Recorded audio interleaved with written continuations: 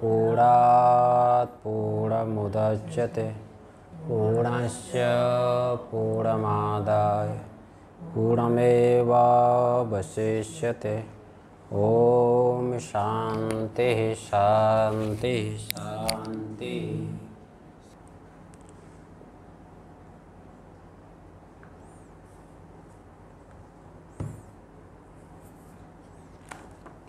पंचदशी ग्रंथ के ग्यारहवा प्रकरण है।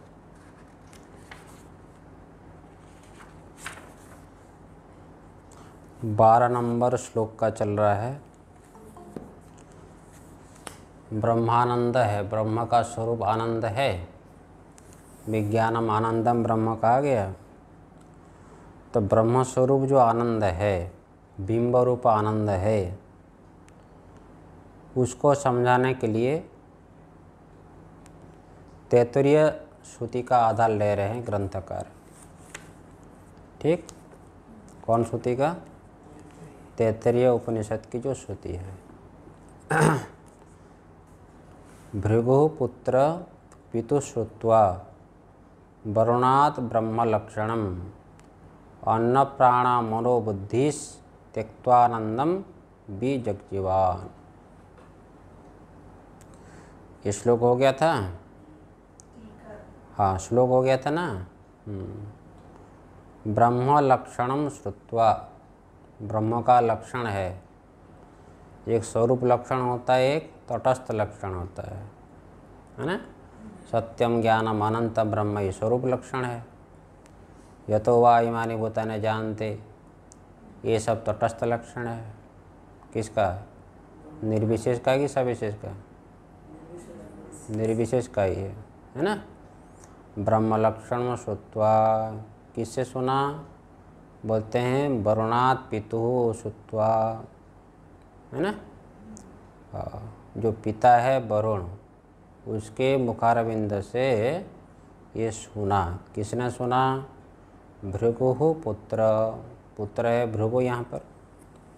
दोनों का संवाद है है ना? वो सुना। ये टीका में आएगा यतो वाई माने मुता ने जानते। ये ब्रह्म का लक्षण को सुना और फिर घटाया। तो कहाँ से घटाया? प्रारंभ कहाँ से किया? है प्रथम क्लास से किया। पाठ तो प्रथम क्लास से करोगे ना? तो प्रथम क्लास का पाठ क्या है? हुँ? अन्ना। ये अन्नमय कोष, स्थूल शरीर। कितने कोष होते हैं? तीन है कि चार है। पाँच है? ठीक। तो अन्नमय कोष, प्राणमय कोष, मनोमय कोष, विज्ञानमय कोष और आनंदमय कोष।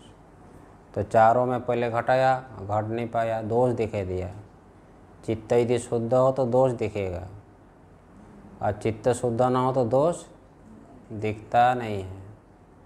सुनते हैं? तो दोष देखना अच्छा है कि अच्छा नहीं है? कभी अच्छा है, कभी अच्छा नहीं भी है। है कि नहीं? तो वैराग्य का हेतु जो दोष है, ज्ञान का हेतु जो दोष दर्शन है, वो देखेंगे तो ठीक है। हाँ ज्ञान का प्रतिबंधक, ठीक है ना? सर्वत्र दोष ही देखना है, ये ज्ञान का प्रतिबंधक होता है। सुनते हो? तो चारों में घटाया तो घटा नहीं फिर कहाँ पर घटाया फिर? आनंद में घटा दिया। आनंदमय कोष है अज्ञान, अविद्या। है ना? उसका जो अधिष्ठान है परब्रह्म, बिंब रूप आनंद। प्रतिबिंबित आनंद का अधिष्ठान जो बिंब रूप आनंद है, उसी को ब्रह्म समझा। सुनते हैं ना? ये यहाँ पर होता है।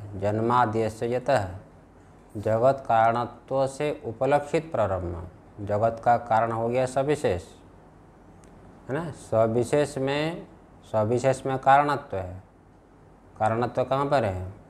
सविशेष। कारणत्व से विशिष्ट हो गया सविशेष। लेकिन कारणत्व से उपलक्षित होता है निर्विशेष। इसको कहते हैं उपलक्षित। क्या कहते हैं? उपलक्षित। उपलक्षित है निर्विशेष ब्रह्म। वही आनंद स्वरूप है। वही मेरा स्वरूप है। आनंदम भी जगजीवन। टीका में देखो। भृगु नामक पुत्र। बारह नंबर श्लोक की टीका है। आवाज़ जा रही है भगवान आप लोगों को? ठीक। भृगु नामक पुत्र। भृगु नामो यस्य। सह भृगु नामक। भृगु नाम वाला भृगु नामक का अर्थ क्या है? भृगु नाम वाला है ना? पुत्र है वो। पितु वर्णाख्यात। वर्ण उसका नाम है, पिता का नाम।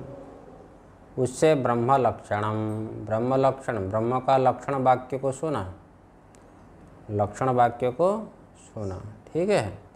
तो कौन लक्षण वाक्य है? यही।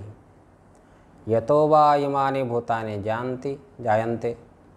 ये न जातानि जीवन्ति। यत प्रयन्ति अविषम विशन्ति, तत् विजिज्ञासस्व, तत् ब्रह्म है ना? उत्पत्ति का हेतु को बता दिया, यतो वा इमानी भूतानि जानते। ये न जाता न जीवंती स्थिति का हेतु। और जिसमें लीन हो जाते हैं, जिसके साथ तादात्म्य को प्राप्त कर ले, जैसे घट मिट्टी में एक हो जाता है। फूट जाता है तो घट कहाँ जाएगा? मिट्टी में। है कि नहीं? तो लय का आधार भी वही हो गया। हुँ? तो तत् तत् कहने से यत से जिसको लिया तत्पद से उसको लो। जो उत्पत्ति का हेतु, स्थिति का हेतु और लय का हेतु। तत्, है ना? विजिज्ञासस्व, उसको तुम जानो, विशेष रूप से जानो। बी उपसर्ग लगा दिया मतलब क्या? संशय, विपर्य रहित होकर के अपरोक्ष रूप से जानो। अपरोक्ष ज्ञान में भी संशय होता है? हम्म? अपरोक्ष ज्ञान हो जाने पर संशय होता है? होता है? हाँ कल बता दे। बरचू का बताया ना कल। लेकिन सामने तो देख रहा है। बरचू आ गया ना। संक्षेप शरीर ग्रंथ में है। कोई अब पहले तो बोल दिया कि बरचू मर गया है। बाद में आया तो बोले उसका प्रेत आया है। तो सामने तो बरचू को देख रहा है राजा। कि अपरोक्ष है कि नहीं? अरे भाई, ये अपरोक्ष है कि नहीं? अपरोक्ष है कि नहीं पूछ रहा हूँ, है ना? लेकिन ये मरा है कि ज़िंदा है? संशय हो गया कि नहीं हो गया? और ये प्रेत है, भ्रांति हो गई, है ना? ये तो प्रेत नहीं है। मरा है कि ज़िंदा है, ये हो गया संशय। मतलब ये ये बरछू वास्तविक है कि उसका प्रेत है? ये संशय हो गया। और यह प्रेत है, ये भ्रांति हो गई। आगे समझ में? तो अपरोक्ष ज्ञान होने पर भी संशय हो सकता है। भ्रांति भी होती है। इसलिए कहते हैं, संशय भी ना हो और भ्रांति भी ना हो, ब्रह्म के विषय में। इसलिए कह दिया, भी जिज्ञासस्व। तद ब्रह्म इतम रूपम सुत्वा इस प्रकार स्वरूप को सुन करके, लक्षण वाक्य को सुन करके फिर क्या किया देख लो। पहले तो लक्षण वाक्यों को सुनना पड़ता है ना है ना? जैसे आपने सुन लिया कि विवेक किसको बोलते हैं? नित्यानित्य वस्तु विवेक। तो क्या करना चाहिए फिर? फिर सुनाने रहना चाहिए कि घटाना चाहिए? सुन लिया तो सुनाना चाहिए कि घटाना चाहिए पहले? क्या? हाँ कहीं कहीं सुन लिया ना, अब सुनाओ लोगों को, बस। यही कहीं कहीं शिक्षा देते हैं। आपने सुन लिया ना, आप लोगों को सुनाओ। लेकिन अपना कल्याण हो रहा है कि नहीं हो रहा, वो नहीं सोचते हैं। नित्य क्या है, अनित्य क्या है, वो जीवन में आना चाहिए ना। है कि नहीं?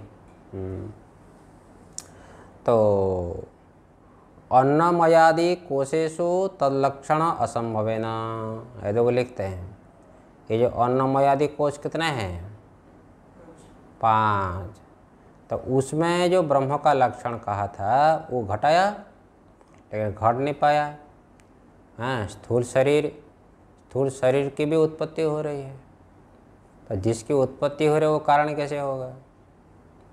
अन्नमय का जो कोष है शरीर, ये तो अनित्य न है, और देखते देखते गायब हो जाता है पानी के बुलबुले की तरह।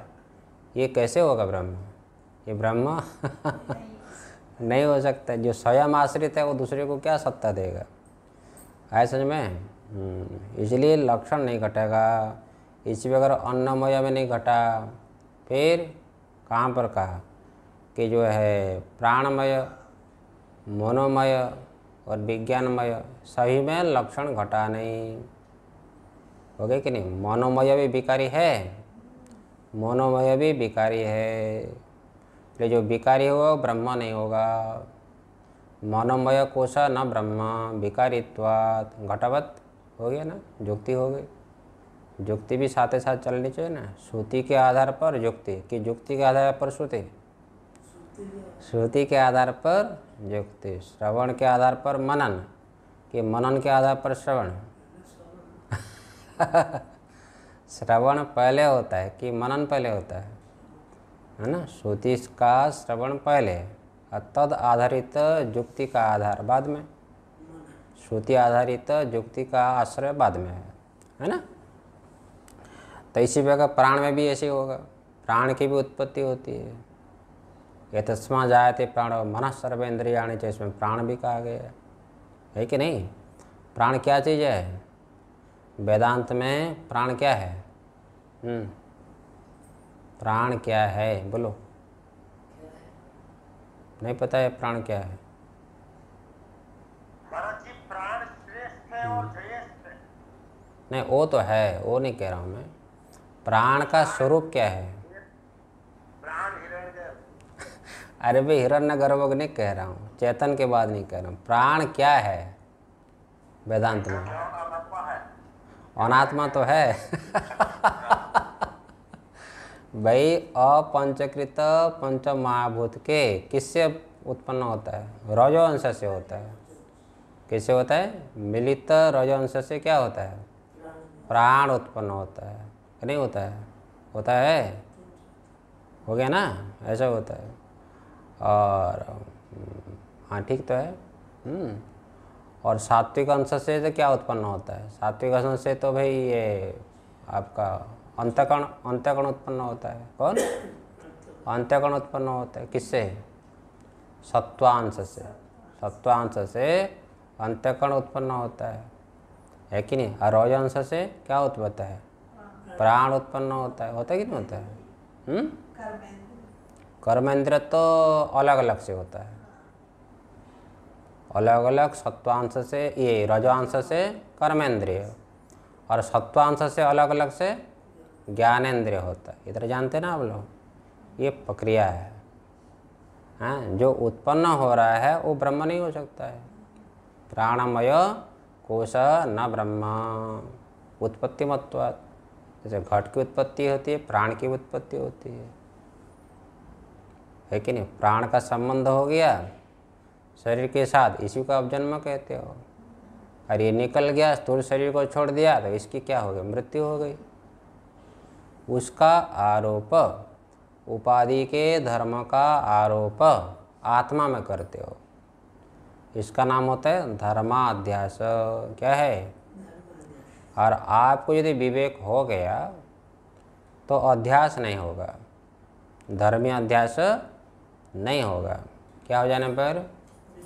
विवेक हो जाने पर। दो धर्मियों के स्वरूप का विवेक हो जाने पर हाँ धर्मी अध्यास नहीं हुआ। मैं अलग हूँ, प्राण अलग है। तो प्राण का धर्म प्राण का रहेगा। आत्मा का होगा? नहीं हो सकता है। ठीक है ना? यही विवेक होता है। पकड़ में आया एक दृग दृश्य का विवेक यही है। साक्षी साक्ष्य का विवेक यही है। आत्मा अनात्मा का विवेक यही है। विवेक होने पर अध्यास की निवृत्ति होती है। अध्यास की निवृत्ति होने पर अध्याजन्य कार्य की निवृत्ति हो जाएगी। धर्मी अध्यास से धर्म अध्यास होता है। पकड़ में है कि नहीं? ठीक है? काम कर्म भी होता है अध्यास से। अविद्या काम कर्म बोलते कि नहीं? मूला विद्या से अध्यास होता है। अध्यास होने पर कामना होती है। कामना होने पर क्या करता है व्यक्ति फिर आगे? कर्म करता है। है कि नहीं? कर्म होता है। हुँ? चलो। इसी प्रकार जो है आनंदमय को विज्ञानमय कोष भी ऐसे ही है। उसकी भी उत्पत्ति होती है, उसका भी लय होता है। इसी प्रकार आनंदमय कोष का भी ऐसे होता है। कि नहीं? हाँ ये आगे आगे बढ़ा जाए। अन्नमयादि कोशेशु तलक्षण असंभव न तेषाम अब्रह्मत्व निश्चित इसलिए ब्रह्म नहीं है, ये कोश ब्रह्म नहीं है। ऐसा निश्चय होना चाहिए। टीकाकार क्या कहते हैं? निश्चित मतलब निश्चय करके। समझ में आया ना? क्या निश्चय हुआ भगवान? पंचकोश ब्रह्म नहीं है। पंचकोश ब्रह्म नहीं है। ऐसा निश्चय होना चाहिए। फिर क्या कहा? आनंदम बीजगजीवान आनंद कोश ने जाना। ठीक है ना? कैसे जाना? सुनो ठीक से। आनंदमय कोशे। आनंदमय कोश है कारण। बराबर ना भाई? जो पंच अवयवत्व पाँच अवयव कहा ना, कोश। हम्म? ब्रह्मपुच्छम प्रतिष्ठा, देखो। उसमें प्रतिष्ठा कौन है? प्रतिष्ठा मतलब क्या है? सबका आधार। आनंदमय कोश भी जिसमें आश्रित है। बात समझ में है ना? हाँ वही ब्रह्म है। वो कौन है? वही ब्रह्म। ऐसा सुना। तात्पर्य क्या है? सुनो। जो आनंदमय कोश में आनंद प्रतिफलित होता है। ठीक है ना? हाँ जो जब मन थोड़ा सा शांत हो गया है कि नहीं? तो शांत मन में मन जब सात्विक होता है, सत्वगुण जब बाहुल्य होता है, अनुकूल विषय की प्राप्ति होने पर मन शांत होता है। सुनते हैं ना? तो उसमें बिंब रूप आनंद का प्रतिफलन होता है। क्या होता है? हाँ जिसका प्रतिफलन हो रहा है, जिसका आभास हो रहा है है ना? जैसे घटाकार वृत्ति में जिस चैतन्य का आभास हो रहा है, वो है मुख्य ज्ञान। है ना? इसलिए प्रतिबोध विदितम मतम, कहते कि नहीं? इसी प्रकार से अलग अलग जो वैश्विक आनंद हो रहा है, वो शांत मन में हो रहा है, जिसका प्रतिफलन होने पर ये सुख की प्राप्ति हो रही है, वो कौन है? बिंब रूप आनंद वो ब्रह्म है। यही यहाँ पर लेकर टीका कर दे। बिंब भूतम आनंदम वो बिंब भी उसको लोग प्रतिबिंब की दृष्टि से उसको बिंब कह दिया। आगे समझ में? क्या? प्रतिबिंब की अपेक्षा से उसको बिंब बोलते हैं। वास्तविक ब्रह्म रूप जो आनंद है वो ना बिंब है ना प्रतिबिंब है। आत्मा साक्षी है कि साक्ष्य है? क्या है? क्या है? आत्मा साक्षी है कि साक्ष्य है? क्या है बोलो? साक्षी है। आत्मा। हम्म, क्या? साक्षी होगा तो फिर साक्ष्य कौन होगा? हम्म? साक्ष्य यदि ना हो तो साक्षी कहोगे उसको? तो फिर हाँ साक्ष्य की दृष्टि से अपेक्षा से उसको साक्षी बोला जाता है। आपको यदि ज्ञान हो गया कि साक्ष्य कोई साक्षी से अतिरिक्त है ही नहीं तो किसका साक्षी होगा? बोलो। जैसे परमात्मा कह दिया क्षेत्रज्ञम क्षेत्रज्ञम चापियाँ विधि सर्वचित्र से भारत। ये आपको यदि ज्ञान हो जाए कि क्षेत्र की सत्ता क्षेत्रज्ञ से अतिरिक्त है ही नहीं। आया समझ में? तो परमात्मा में क्षेत्र की संज्ञा भी नहीं रहेगी। क्षेत्रज्ञ तो धर्म भी नहीं रहेगा, उसको क्षेत्रज्ञ भी नहीं कह सकते। ठीक है भगवान? इसी प्रकार ले लो बिंब के विषय में, है ना? बिंब भूतम आनंदम। जो बिंब रूप जो आनंद है, वही ब्रह्म है। ब्रह्म लक्षण योजना ब्रह्म लक्षण की योजना मतलब घटा दिया ठीक है भगवान? हम्म। इसलिए घटाने के लिए भी तो योग्यता होनी चाहिए ना, नहीं तो उसी में फंस जाएगा। किसमें? उस प्रतिबिंब आनंद में फंस जाते लोग। अभी आएगा ना, विद्यानंद वगैरह सब आएगा। है कि नहीं? जिसमें पढ़ोगे पंचोदशी, जब समझ में आएगा तो उसी में लोग फंस जाते हैं बस। कि भाई शब्द, है ना? शब्द को समझने से जो आनंद मिलता है ना उसमें फंस जाते हैं। रसास्वादन हो जाता है ना, क्या? रसास्वादन बोलते हैं उसको। उससे आगे बढ़ना चाहिए, क्या? बिंब रूप आनंद तक पहुँचना चाहिए। ब्रह्मत्व ज्ञातवा नित्यर्थ। बिंब रूप आनंद, वही ब्रह्म है, वही मेरा स्वरूप है। ठीक है? ऐसा उसने जान लिया, संशय, विपर्य रहित होकर के अपरोक्ष रूप से जान लिया। ठीक है? ये बारह नंबर श्लोक का हुआ। अब आगे बढ़ते हैं। तेरह नंबर श्लोक के ऊपर महाराज जो प्रश्न है कि वरुण महाराज वर- वारुणी महाराज जो भृगु ने कहा कि उस ब्रह्म को जानो हम्म त- तद विधि तद विजिज्ञासस्व ठीक है। हम्म। तो इसको तटस्थ लक्षण से लेने के लिए कहा कि स्वरूप लक्षण से लेने के लिए ये प्रश्न थोड़ा सा गुप्त रखा। भाई स्वरूप लक्षण तो पहले बोल दिया। है ना? स्वरूप लक्षण तो पहले बोल ही दिया ना। क्या कह दिया? कि जो है हम्म, स्वरूप लक्षण काम। हाँ। स्वरूप लक्षण ये कहा कि हम्म, नहीं नहीं नहीं। हाँ हाँ ठीक कह रही है। सत्यम ज्ञानम अनंतम ब्रह्म वो तो स्वरूप लक्षण बता दिया है। ठीक है? और ये तटस्थ लक्षण का है। क्या? तटस्थ लक्षण से का दोनों एक ही है। तटस्थ लक्षण स्वरूप लक्षण इसकी एक होता है। उसका जो स्वरूप जो धर्म है है कि नहीं? तो उससे जो लक्षित होता है, उसको कहते हैं स्वरूप लक्षण। क्या? सचित आनंद। आ, तटस्थ लक्षण भी उसी का होगा। कोई भिन्न तो होगा नहीं। है कि नहीं? तटस्थ लक्षण जब घटा देंगे तो स्वरूप में ही पहुंचेगा और कहाँ पहुंचेगा वो? हो गया कि नहीं? तटस्थ लक्षण जिसमें घटा देंगे तो उसका स्वरूप कहाँ जाएगा? स्वरूप तो अभिव्यक्त हो ही जाएगा। है कि नहीं? स्वरूप का व्यविचार तो होगा ही नहीं। ठीक है भाई चलो। हम्म। जैसे ब्रह्म सूत्र में पढ़ते हो होता तो ब्रह्म जिज्ञासा बोल दिया। फिर आगे क्या कहा? जन्मादि से कहा। ये तटस्थ लक्षण हुआ ना? ठीक है? तो लक्षण जब घट जाएगा अनुभव से तो ब्रह्म का स्वरूप तो अपने आप अभिव्यक्त हो जाएगा। कौन सा स्वरूप? सच्चिदानंद। हम्म, ऐसा होता है। ठीक है? चलो। दिया उन्होंने इसलिए मैं थोड़ा सा हाँ हाँ हाँ। हम्म, चलो। हाँ जी हाँ जी। हम्म, ठीक है। किया हम्म, तटस्थ लक्षण से या स्वरूप तो तटस्थ क्लियर हो गया कि तटस्थ जान गए तो स्वरूप लक्षण बोध हो जाए बोध हो जाएगा। कथम आनंदे तद लक्षणम योजितवान। है देखो भैया। आनंद में ब्रह्म का लक्षण जो घटाया कैसे घटाया? तद लक्षण कहने से ब्रह्म का लक्षण। आनंद में घटाया कैसे? घटना चाहिए ना अनुभव से। है ना? देखो, घटा रहे हैं इसी प्रकार तद योजना प्रकार दर्शन परम। लक्षण की जो योजना हुई, घटाया, क्या समझ घटाना बोलते हैं ये सूत्र को घटाओ यहाँ पर। ये शुद्धि पाश्य में घटाओ, ये कोई होनी चाहिए को। बोलते कि नहीं? इस प्रकार ये मानी भूतानी को घटाओ आनंद में तब तो आनंद ब्रह्म होगा। है कि नहीं भाई? चलो देखते हैं।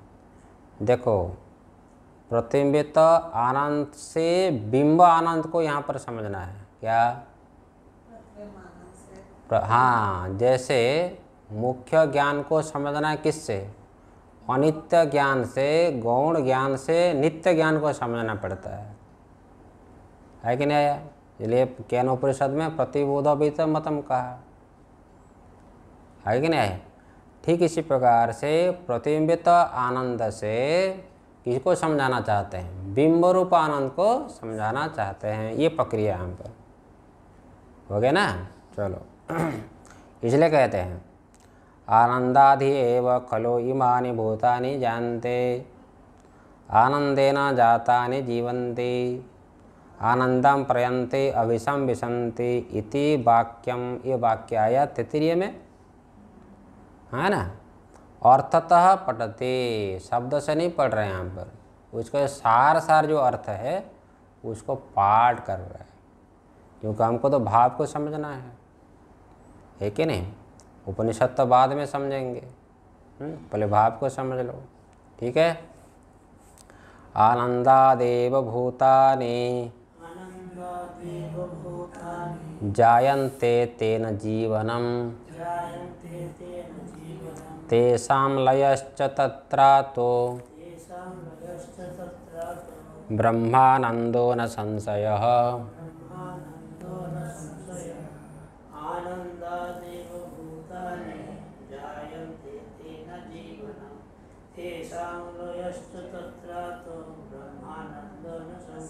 हम्म। देखो ऐसा है ना ये तटस्थ लक्षण चल रहा है। कार्य से कारण का ज्ञान होता है पहले किसका? कार्य से कारण। कार्य से कारण का ज्ञान होता है। बात समझ में हम्म, ये प्रक्रिया है। ये प्रक्रिया सुगम होती है। और स्वरूप लक्षण से घटाना लक्ष्य को लक्ष्य में घटाना लक्षण को स्वरूप ये बड़ा कठिन होता है। क्या? वह निर्विशेष सद ब्रह्मा है तो क्या समझ में आएगा आपको? है ना? बिना विशेष से कोई दिखता तो नहीं है कोई वस्तु? क्या? बिना विशेष से, बिना कोई गौण धर्म से जिसको सत रूप से लक्षण करती है, सत्यम ज्ञानम अनंतम ब्रह्म, है ना? वो सत कैसा है? निर्विशेष सत। तो बिना वस्तु से कोई सत का अनुभव तो होता नहीं। है इसलिए वो प्रक्रिया थोड़ा कठिन पड़ता है। कौन सी प्रक्रिया है? स्वरूप लक्षण को घटाना लक्ष्य में ये थोड़ा कठिन प्रक्रिया है। ये सा, ये वेदांत का रहस्य है। आ गया?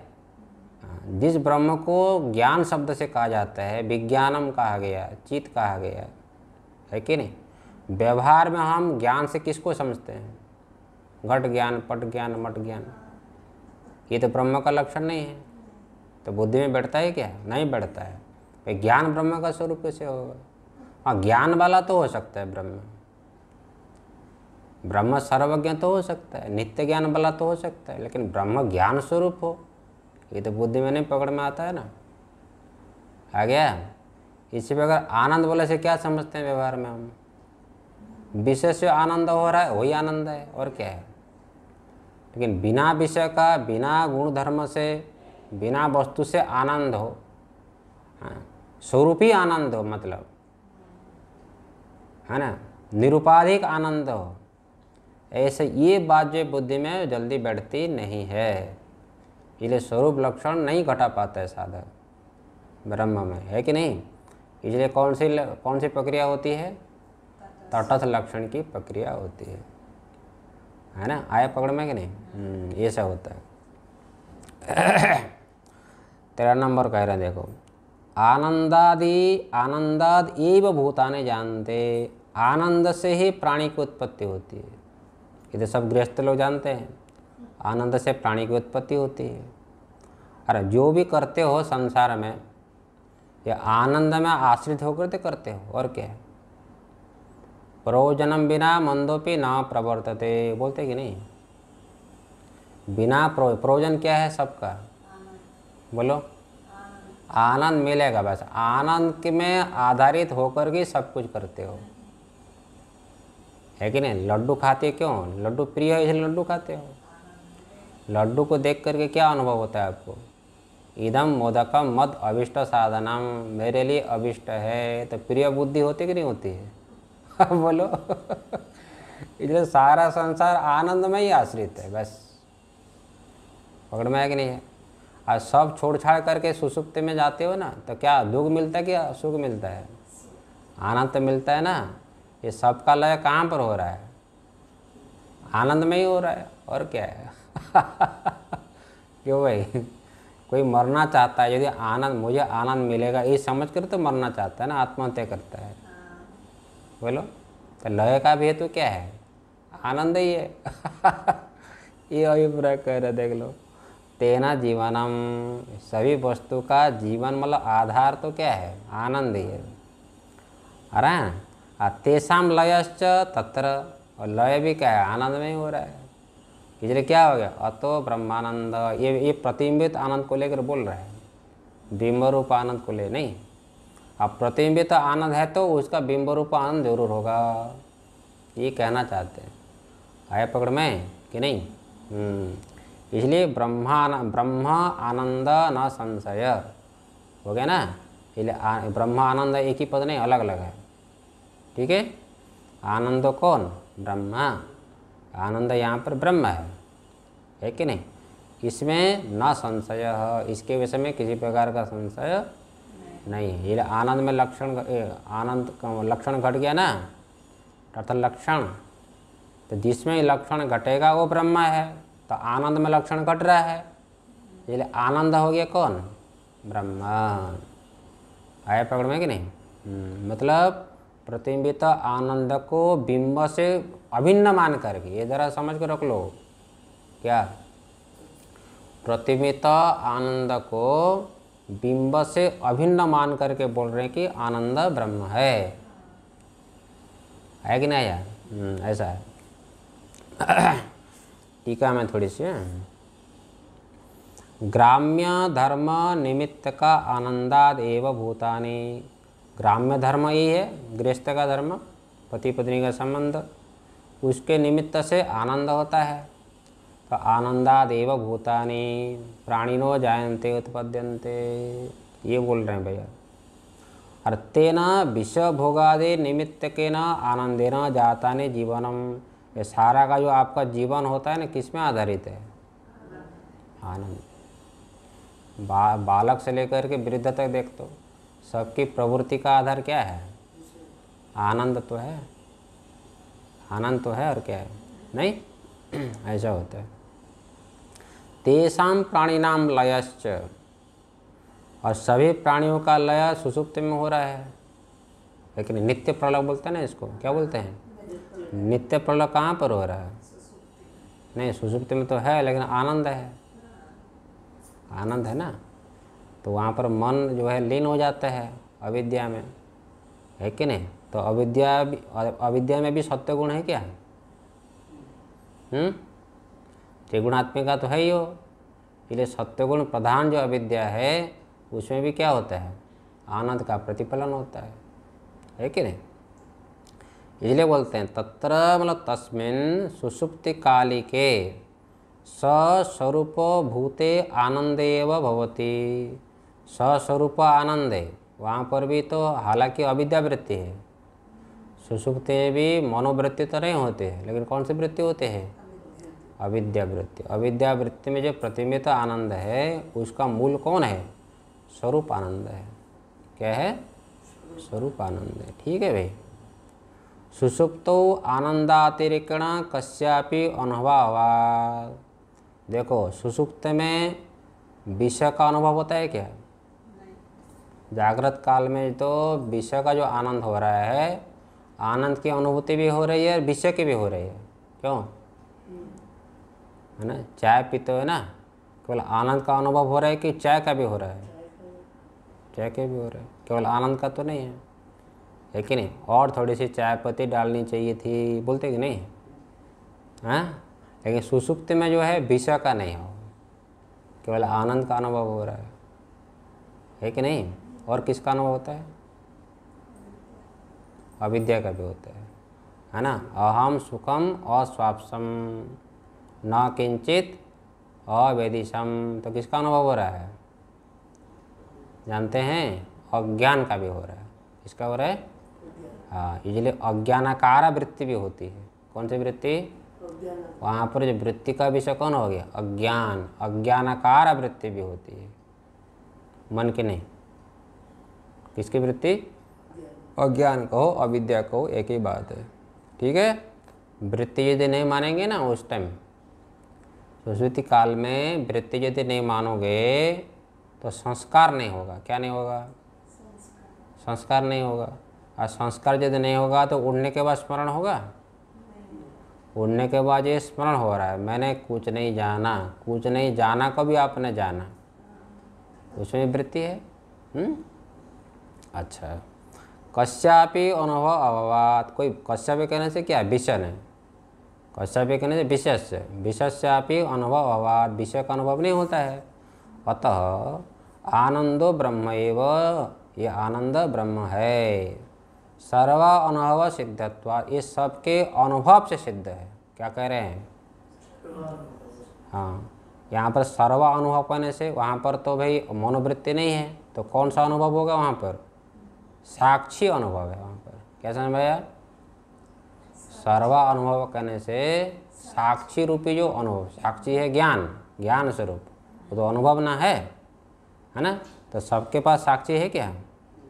है? वो कहाँ जाएगा? वो ना हो तो फिर ये उसका भान ही नहीं होगा सुसुप्ति का। उड़ने के बाद फिर कुछ भी भान नहीं, कुछ भी स्मरण नहीं होगा। साक्षी यदि नहीं मानेंगे तो उसका प्रकाश नहीं होगा। किसका? अज्ञान का है कि नहीं? हाँ अज्ञान का कहो सुख का कहो उसका अनुभव यदि ना हो प्रकाश यदि ना हो तो उड़ने का स्मरण हो पाएगा? नहीं हो पाएगा। पकड़ में आया हम्म, ऐसे चलो। तो सर्व अनुभव सिद्ध है। वो अनुभव से मतलब साक्षी से सिद्ध है वो। नात्र संशय कर्तव्य। देखो सबके साक्षी के साक्षी रूपी अनुभव से सिद्ध होता है। उसमें कोई संशय होता है क्या? क्या? उसमें संशय नहीं होता है। सुख मुझे हुआ कि नहीं हुआ? संशय होता है? नहीं होता है है ना? उसमें किसी प्रकार का संशय नहीं, है ना? इति भाव। ये ग्रंथकार का अभिप्राय है। अच्छा आगे थोड़ा पढ़ते हैं भी एवं तैतरीयक तैतरीयक श्रुति पर्यालोचनया। ये कौन सी श्रुति थी? तैतरीयक श्रुति थी, है ना? उसका पर्यालोचन से, विचार से। ब्रह्मण आनंद रूपता प्रदर्श्य। ये आनंद रूप कौन है? ब्रह्म है। आनंद स्वरूप ब्रह्म है है ना? उसको दिखला दिया। अब कहते हैं, छांदे का श्रुति को ले लो। आपके लिए सरल पड़ेगा। ये बोलते हैं। छांदोग्य श्रुति पर्यालोचना यहाँ पे ये ये अब ये विचार करो फिर उपनिषद पहले पढ़ोगे कि पंचदश से पहले पढ़ोगे? हम्म? क्या पढ़ोगे? उपनिषद पहले पढ़ोगे तो पंचदश समझ में आएगा नहीं तो क्या समझ में आएगा? छांदोग्य में क्या लिखा है? है ना? तो कुछ समझ में नहीं आएगा। इसका मतलब गहराई है ये ग्रंथ में। छांदोग्य श्रुति पर्यालोचनयापि ताम निदर्शयसु अच्छा यदि नहीं पढ़े हो ना, तब भी पंचोदशी तो पढ़ सकते हो। अरे, जैसा बोलते हैं, ऐसा सुन लो और क्या है? जैसा बोल रहे हैं, सुन रहे हैं, ऐसा मान लो। सबसे सरल उपाय ये है। क्या? छांदोग्य में ऐसा लिखा है तो ज़्यादा बुद्धि ना लगा। हाँ लिखा है। गुरुजी बोल रहे और क्या है? मान लो। मानना ही सरल उपाय क्यों भाई? क्या? हाँ मानना है। पहले मानोगे कि पहले जानोगे? ऐसा है? कि जानोगे पहले? पहले मानोगे कि पहले जानोगे? बोलो, वेदांत में। वेदांत पहले मानोगे, उसके बाद जानोगे। ऐसा नहीं कि पहले जानोगे, उसके बाद मानोगे। ऐसा नहीं होता है। अस्ति इतव उपलब्धव्य जमराज जी कहते हैं ना, परमात्मा है, पहले मानो। मान कर आगे बढ़ोगे तो परमात्मा का अनुभव भी हो जाएगा तुमको बात पकड़ में आई? लेकिन लोग आजकल क्या शिक्षा नहीं नहीं, पहले हम नहीं जानेंगे तो मानेंगे कैसे? आप कुछ ही बोलोगे तो हम मान लेंगे। माँ बोल दिया तो कैसे मान लिया आपने? माँ बोल दिया कि तुम्हारे पिताजी है, डैडी है तो कैसे मान लिया आपने? अपना जाना था क्या? कैसे जान लिया कैसे मान लिया? ऐसे ही होता है। ठीक है? यही उपाय। क्या जी? ये थोड़ा सा मानना और जानना विषय लेकर मानना वाला श्रद्धा है भाई। स्वामी राम सुखदास ने जब किया था तो इसमें वहाँ वो हुआ कि भाई तुम तो मान रहे हो तुम तो भक्ति मार्ग पे हो ज्ञान मार्ग पे नहीं हो। जानो पहले जानो। नहीं नहीं ऐसा नहीं। पहले जानो। उनका कुछ अलग अभिप्राय होगा ऐसे नहीं। नहीं माना कि भाई उन्होंने थोड़ा सा मंथन किया तो जानो। मानो नहीं, ऐसा नहीं। हमारे ज्ञानियों का वहाँ वो था। हम्म। और भक्तों ने कहा नहीं नहीं पहले मान लो तुम है भगवान है। अरे भाई वेदांत में भी ऐसे ही होता है। वेदांत में भी ऐसे ही होता है। पहले मानना ही पड़ता है। क्या? पहले क्या? वेदांत में भी यही प्रक्रिया कोई दूसरी प्रक्रिया नहीं है। वेदांत में ही वेदांत में भी पहले क्या है? मानना पड़ता है। ब्रह्म कह दिया कि ब्रह्म ज्ञान स्वरूप है। आपको कैसे अनुभव हुआ? बोलो। कौन सी बुद्धि होने से आपको अनुभव होगा? बताओ। पहले। पहले मानना ही पड़ता है। क्या? पहले मानना ही पड़ता है। ये तो भाई मैंने अभी सुन रहे हो। आप पहले जानोगे कैसे? बताओ। ब्रह्मा ने उसको उत्पन्न किया तो कैसे जानोगे आपको मानना ही पड़ता है पहले। आगे चलो। चांदोग्य श्रुति पर्यालोचनायापि ताम निदर्शयसु छांदोग्य श्रुति का यदि पर्यालोचन करेंगे इसके द्वारा भी यही है ताम निदर्शयसु ताम कहने से आनंद रूपताम ब्रह्म का स्वरूप आनंद रूपत है इसको दिखाने की इच्छा करने वाले ठीक है ना? दिदर्शयसु कौन? ग्रंथकार। हाँ, बोलते हैं कि संवाद तुमको बता रहा है नहीं तो नींद आ जाएगी ना? इसलिए संवाद भी कहानी बतानी चाहिए। सनत कुमार नारद संवाद रूपे। है देखो भाई, सनत कुमार भगवान है, उनके पास कौन चले गए? नारद जी चले गए। सारे अभिमान को छोड़ करके मैं इतना पढ़ा हूँ, इसको भी भूल करके। है ना? सप्तम अध्याय, सातवां जो अध्याय है, उसमें एक ग्रंथ है, देखो। स्थितस्य भूमरूप ब्रह्म प्रतिपादकस्य। ब्रह्म का स्वरूप है भूमा। है ना? भूमा मतलब व्यापक अपरिचिन्न तो भूमा रूप किसका है? ब्रह्म का है। भूमा स्वरूप तो ब्रह्म का है। ऐसा ब्रह्म का प्रतिपादन करने वाला जो वाक्य एक है, उसको दिखला रहे। कौन सा? देखो, नान्यत पश्यति, नान्यत शुणोति, नान्यत विजानाति स भूमा। ये कह रहे हैं यहाँ पर। है ना? हाँ यत्र न अन्यत पश्यति। जहाँ पर एक दूसरे को नहीं देखता मतलब त्रिपुटी गायब। है कि नहीं? जिस स्वरूप में त्रिपुटी रहती नहीं, दृग दृश्य दर्शन। हो गया ना? ये त्रिपुटी का अभाव कह दिया। नान्य सुनती ना सुनने वाला।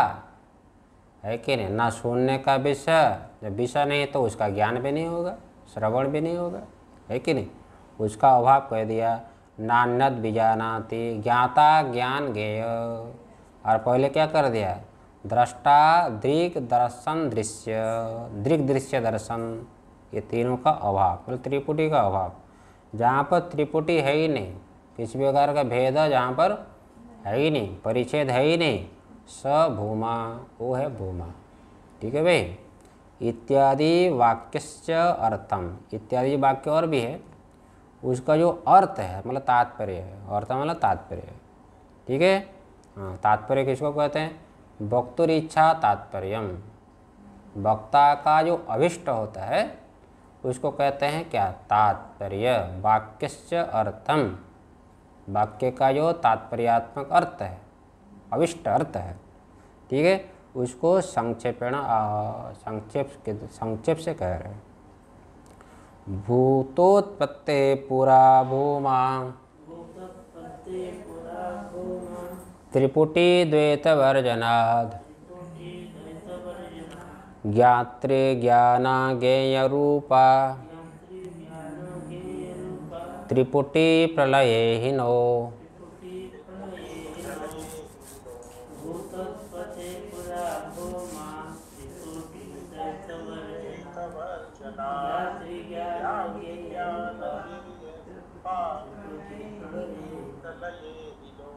अच्छा।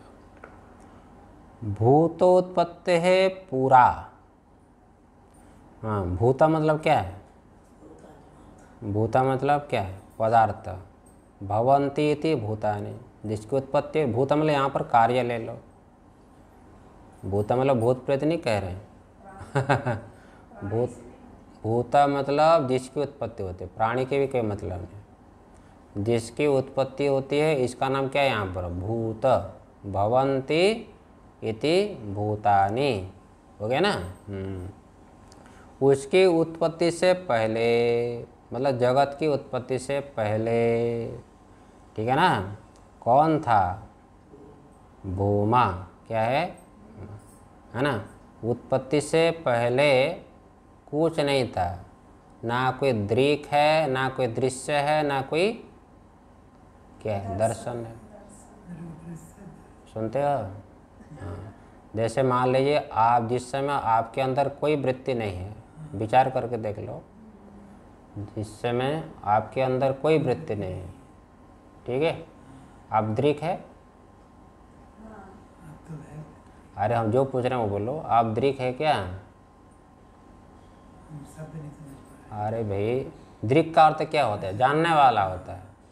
दृक का अर्थ जानने वाला देखने वाला। आप दृक है उस समय? बोलिए आप बोलिए। कहा किसका दृक है? कोई है ही नहीं। किसी का भान ही नहीं हो रहा है अपने से अतिरिक्त तो किसका दृक कहोगे आप? आप दृक कैसे कहोगे? आप किसी को उस समय जानते हो? हाँ अपने से किसी अतिरिक्त को जानते हो क्या? अरे भाई कौन दृश्य रहा उस समय? कोई दृश्य नहीं रहा? कोई दृश्य ही नहीं तो क्या दृक होगा? दृश्य यदि नहीं है तो दृश्य का ज्ञान होगा? घट यदि नहीं हो तो घट का ज्ञान होगा? है कि नहीं? तो दृश्य नहीं है, आप दृक भी नहीं हो। और दृक दृश्य नहीं है तो दर्शन भी कहाँ से होगा? इतना आया पकड़ में। लेकिन एक वृत्ति संकल्पित हो गई, एक वृत्ति भाषित हो गई, स्फुरित हो गई आपके मन में, आप क्या हो गए? अब देखो त्रिपुटी आ गई। आगे कि नहीं आगे? ठीक है? आप दृग बन गए। क्या बन गए? हाँ मनोराज्य हो गया ना? निर्विकल समाधि से नीचे आ गए। तो मनोराज्य हो गया तो दिखाई दिया आपको। तो आप क्या हो गए? आप और जो भी दिखाई दिया, वो दृश्य हो गया। उसका ज्ञान दर्शन हो गया कि नहीं हो गया? आया? लेकिन उसकी उत्पत्ति से पहले आप कैसे थे? दृक थे कि दृश्य थे कि क्या थे? कुछ नहीं। उसी का नाम होता है सत। सदैव सम्य इदम अग्रे आसिद ये पहले बोल दिया ष्ठ अध्याय में पहले बोल दिया ष्ठ अध्याय का जो अधिकारी है ना, मुख्य अधिकारी, वही है मुख्य अधिकारी सप्तम अध्याय का। ष्ठ अध्याय का, श्वेतकतु संवाद का जो अधिकारी है, वही अधिकारी है सप्तम अध्याय का अधिकारी। मुख्य अधिकारी कितने होते हैं? एक होते हैं कि दो होते हैं? मुख्य अधिकारी एक ही होता, अनेक नहीं होते। एक ही होता है। ठीक है? ये कह रहा देखो, वही भूमा है। त्रिपुटी द्वैत वर्जनान। उसमें त्रिपुटी के जो त्रिपुटी रूपी द्वैत, त्रिपुटी, यहाँ पर लिखेंगे, है ना? त्रयाणाम क्या लिखा है यहाँ पर? हाँ यहाँ पर लिखा ना, पुटानाम। त्रयाणाम, पुटानाम समाहार ये त्रिपुटी। तीनों पुट पुट मतलब आकार। ज्ञात्री, ज्ञान, ज्ञेय। दृग दृश्य, दर्शन। हो गया ना भाई? इसको बोलते हैं पुट, आकार आकार। क्या बोलते हैं? आकार बोले या ना ये तीनों के समुदाय का बोलते त्रिपुटी। क्या कहते हैं? त्रिपुटी। हो गया कि नहीं हो गया? ठीक है? हम्म। तो ये तीनों का अभाव यहाँ पर, द्वैत वर्जना। उसी को कहते हैं भूमा। वही है ब्रह्म का लक्षण, ब्रह्म का स्वरूप। आया समझ में? हम्म। आगे लिखे देखो। ज्ञात्र ज्ञान ज्ञेय रूप त्रिपुटी प्रलय है ना अब प्रलय में भी कोई त्रिपुटी नहीं रहा। ज्ञात्र, ज्ञात्री, ज्ञान ज्ञेय रूप, कोई नहीं रहा यहाँ पर। हो गया ना? तो जहाँ पर त्रिपुटी का अभाव होता है, जहाँ पर कोई विशेष, जहाँ पर कोई भेद, जहाँ पर कोई परिच्छेद नहीं है उसी को कहते हैं भूमा। वही भूमा है ब्रह्म का स्वरूप। ये स्वरूप लक्षण हो गया। क्या? ये भूमा, ये ब्रह्म का क्या लक्षण हुआ? हाँ तट लक्षण है, स्वरूप लक्षण। और यह तो मानी बताना जानते। वो क्या है? तटल लक्षण। ये दो हो गया, ठीक है? पहले तटस्थ है कि पहले स्वरूप? तटस्थ हो तो अच्छा होता है अच्छा हो, अच्छी प्रक्रिया होती है। इसका विचार कल करेंगे। ओम पूर्णमद पूर्ण पूर्णा पूर्णमुदच्यते पूर्णश्च पूर्णमादा पूर्णमेवावशिष्यते। ओम शांति शांति शांति